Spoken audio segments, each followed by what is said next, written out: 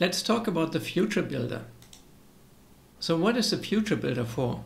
What do you need it for? And how can you use it? So I have a Flutter application and before I can actually use the different screens of the application, I need to get data from the internet or establish a session to uh, call APIs. So I need to initialize my application to make sure it runs smoothly. I don't want to retrieve data from the internet, which is an asynchronous call, and I don't know how long it will take when I uh, build up the screen in my application. Also, Flutter doesn't allow it because it's asynchronous, and everything that's asynchronous in the build function will be just uh, started but not ended. A common pattern in applications is like an animation, an hourglass or something that shows you the app is doing something, it's waiting for information from the internet, and once it got that information, it will start to show it. So how do we do that? Future Builder is the answer.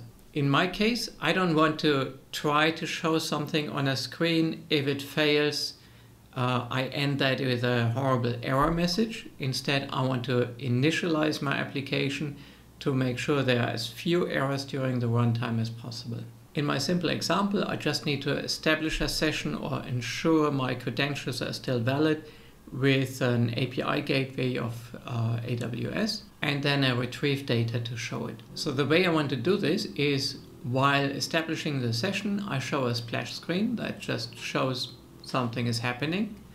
And once that is done, I move on to a different screen and show the displayed data. Or in case of an error, I move on to an error screen. So how do I do that?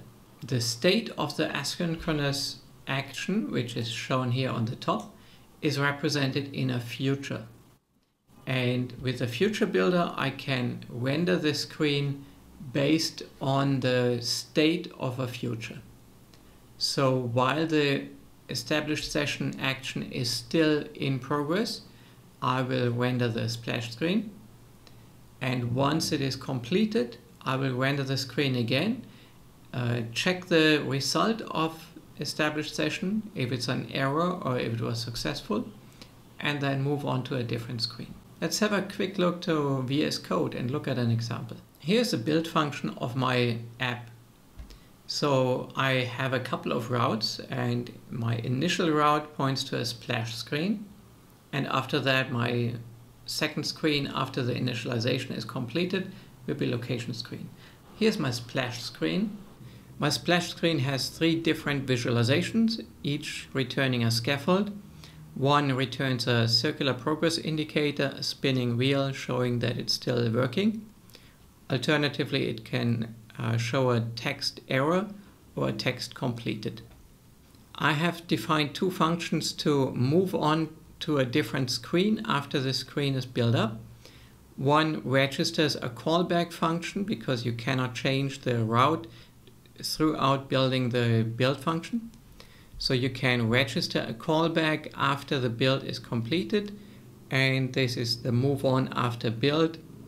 And move on is a function that is called once the build function is completed. And here I just navigate to a different page. In my future builder, I start the asynchronous call. In this case, I initialize my Cognito session. I have a build function that defines which visualization to choose. So here I check if my snapshot, which refers to the state of the returning future of initialize cognito, has an error. In that case, I visualize the screen as an error screen and I register a callback to move to a different route, which reflects an error screen. Alternatively, if it's complete, I show the complete text. I move on after build, so after construction is complete, I move on to the next screen to really be in the application.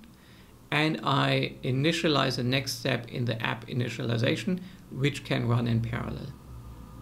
If it's still running, then I show the spinning wheel with the build splash screen method. Now the future itself, the asynchronous method, needs to return a future string and in this case just initializes a cognito session.